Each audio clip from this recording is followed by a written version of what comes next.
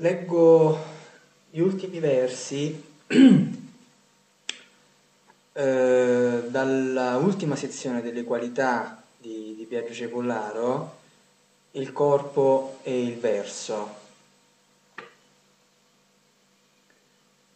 Il corpo è ricoperto di parole che fanno un racconto e c'è il disastro che lo seppellì sotto la ruggine dell'inverno e c'è l'aggressione che lo passò da parte a parte. C'è la schiena trafitta e il taglio nella gola. Ora sulle dita prova altre parole che insieme dicano la corda troncata, il saltello nell'aria e il silenzio di ogni risveglio come il coraggio della vita nuova. Un, um, un fine, una um, progressione eh, di questa eh, raccolta eh, di poesie eh, di, di, viaggio eh, che conduce dalla vita offesa ad una vita in qualche modo risanata. Questa eh, finalità è, in realtà non ha una eh, tensione, come dire, eh, progressiva, non, non, è una linea eh, retta, eh, si muove in maniera ondulatoria, sussultoria, con strappi, con rotture, con fratture. Cercando di ritornare sempre al punto iniziale, cioè il corpo, il corpo che appunto è lo stesso ad ogni incipit diverso. E, e l'ultima sezione è appunto il corpo e verso, il verso, certo la poesia, ma il verso è probabilmente anche una questione etimologica, come dire, questo vertere, questo girare, questo ritornare.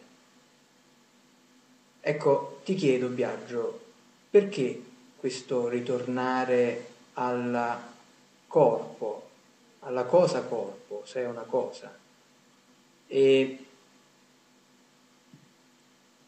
in quale, in quale direzione poi eh, hai teso il verso. Perché il verso? Prima, prima di cominciare questa conversazione, tu mi dicevi, ma in fondo questo corpo occupa uno spazio che è il vuoto, il vuoto di dentro e il vuoto di fuori. Cioè in una desertificazione radicale il corpo diventa di nuovo un punto di partenza. E, e questa è già la risposta, è così. Questo corpo però è un corpo percepiente, una percezione che pensa, è un pensiero che percepisce. Ed è l'inizio e la fine di ogni discorso, quindi è una garanzia di immanenza. Ed è anche un progetto di immanenza, anche se è una contraddizione, perché un progetto implica già un trascendersi. Ed è in fondo la contraddizione della vita, che quando vuole aderire a se stessa in massimo grado, è già un suo sporgersi rispetto a ciò che è. Ora, il verso, in questo senso, è questo momento di trascendenza dello sporgersi, perché è il momento in cui il, la magia, diciamo, della poesia, quella sintesi che il ritmo eh, provoca tra suono e immagine, eh, quella magia è fatta di questo, di questo tornare, di questo eterno tornare, di questa ripetizione quasi come un mantra che la vita fa attraverso il verso della sua affermazione eh, profonda, dionisiaca, il suo sì. Ecco, diciamo allora che la direzione, il telos di, questa,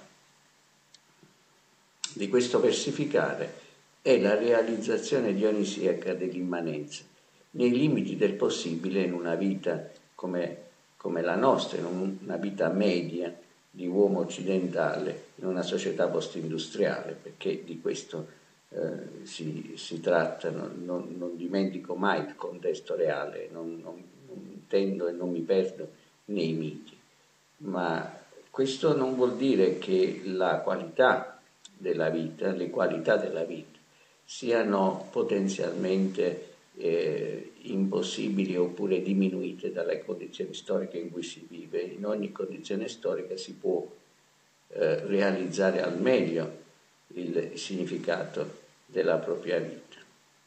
E, e il corpo per me è l'universo da cui parto e a cui arrivo, esattamente come fa il verso che va e che torna, come il respiro che va e che torna. Sì, dunque, eh, parli, eh, parli, di respiro. E, ehm, queste poesie sono effettivamente ehm, come dire, eh, una ripresa eh, continua del respiro, un attacco continuo eh, del respiro ehm, per raggiungere eh, una dimensione eh, di calma, eh, per per raggiungere quel se stesso che è appunto questa res uh, cogitans, una res cogitans che respira, uh, mi, viene, mi, viene, da dire. E rispetto a questo uh, respiro ehm, vedo che appunto quelle volte che affanna, quelle volte che in qualche modo si strozza in gola, eh, è come se eh, si acuisse eh, la percezione eh, dei eh, sensi. Io ho ehm, individuato eh, all'interno di questa, di questa, poesia un sentimento dominante. questo sentimento lo chiamerei risentimento Risentimento eh, però in una duplice accezione, cioè eh, il risentimento come questa emozione eh, di rabbia eh, eh, mista con un desiderio di rivalsa, quella cosa che eh, possiamo chiamare anche rancore. O peggio ancora quando non è più relata ad altro eh, e quindi eh, ricadendo in se stessa diventa rimorso.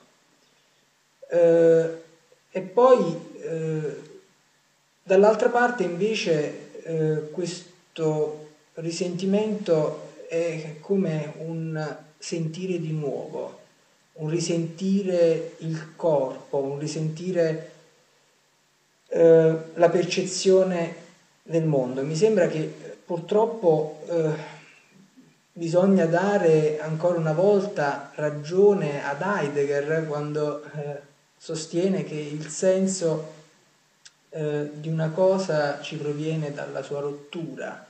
E così abbiamo ancora bisogno del negativo per raggiungere il senso e la percezione delle cose in maniera più acuta, più acuita? Beh, sicuramente la rottura di una routine, di un'abitudine, di una scontatezza del, dell'esserci eh, spinge a cambiare molto e ad avvertire molto ciò che c'è nell'immediatezza, nel circostante.